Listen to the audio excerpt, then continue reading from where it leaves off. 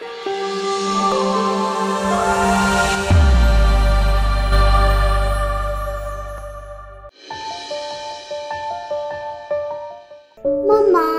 tomorrow my teacher is going to teach me colors.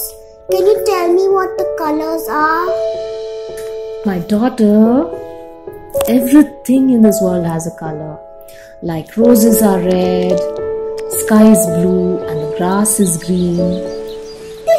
So pretty, Mama. Yes, they are.